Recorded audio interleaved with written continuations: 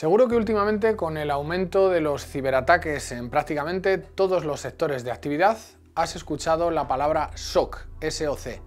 Este acrónimo tiene que ver, como seguro que ya sospechas, con la seguridad informática y con los ciberataques. En concreto responde a las siglas Security Operations Center, en castellano Centro de Operaciones de Seguridad. Ayesa, proveedor global de servicios de tecnología e ingeniería, acaba de lanzar su propio SOC. Lo define como un centro específicamente dedicado desde el que un equipo de analistas monitorizan la actividad y toman el pulso de todos aquellos eventos que se producen en los sistemas informáticos de una compañía.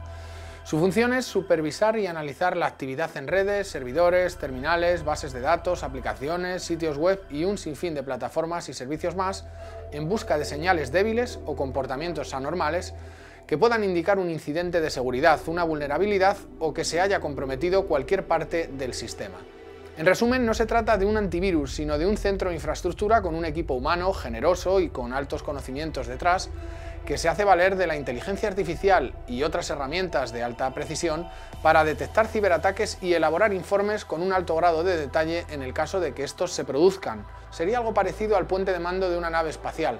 Quienes levantan los SOC los utilizan para su propia empresa los operadores de telecomunicaciones, por ejemplo, suelen tener uno para analizar sus redes y sistemas en todo momento, pero también los ponen a disposición de terceros, por lo que cobran obviamente y así le sacan la máxima rentabilidad posible.